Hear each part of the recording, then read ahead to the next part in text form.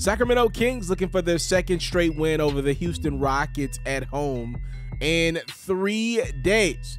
De'Aaron Fox and company, though, got off to a rough start in this one as the Rockets would get out to a 13 zip run as Christian Wood gets the bucket. Still in the first, it's Jalen Green going down the lane. Nobody's going to get to that one. Rockets up by double digits in the second, and Fox knocks down the trifecta, and then Fox getting in the post and showing you what he's got.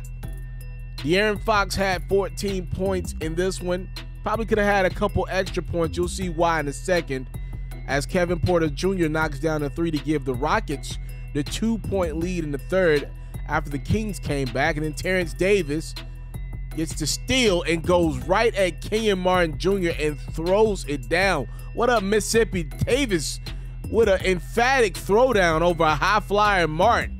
Mathews trying to channel his inner Davis, but he is fouled hard by Fox. Check it out again. Swipa clearly going for the basketball, but got a whole lot of Mathews' arm. And obviously, with an awkward fall like that, the ref's not going to be too friendly. Fox has issued a flagrant two foul, which means he's ejected. Kings gonna have to get it done without their leader. Buddy Hield is all game. He cuts his team's deficit down to five. We got a one point game with 90 seconds to go. Then Houston puts this thing away. Porter Jr. with the three.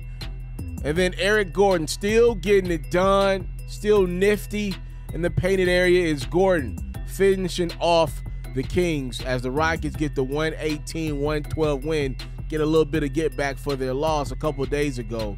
Christian Wood had 23 points and 14 boards to lead Houston.